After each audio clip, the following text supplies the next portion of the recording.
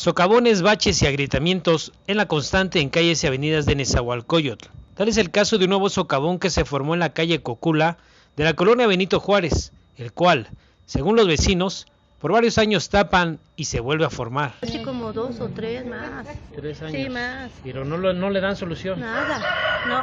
Nada más vienen y ponen su listoncito y ya con eso ya lo hacen. Pero la verdad es muy peligroso esto para los niños, hasta para uno. Sí. Entonces sí, la verdad necesitamos que, pues más que nada le den prioridad.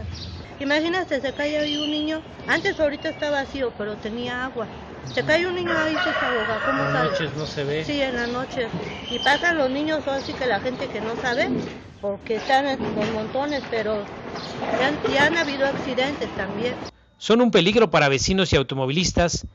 Incluso algunos camiones se han sumido. Autoridades del organismo de agua potable y alcantarillado en Nezahualcóyotl reconocen la urgencia en el reemplazo de la red de drenaje subterránea. Como tal de tiempo no teníamos el reporte nosotros a partir de la semana pasada. Y sí es bien cierto que la tubería ya cumplió su vida, su vida útil, ¿no? Entonces es una, una rehabilitación de la, de la red general completa. Entonces te yo exactamente estaremos en condiciones en términos de dos o tres semanas.